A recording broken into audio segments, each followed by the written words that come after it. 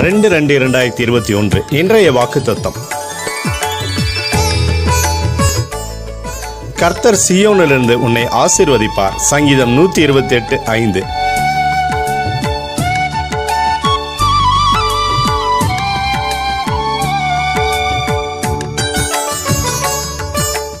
இயேசு என்னை ஆசிர்வதிக்கிறார்.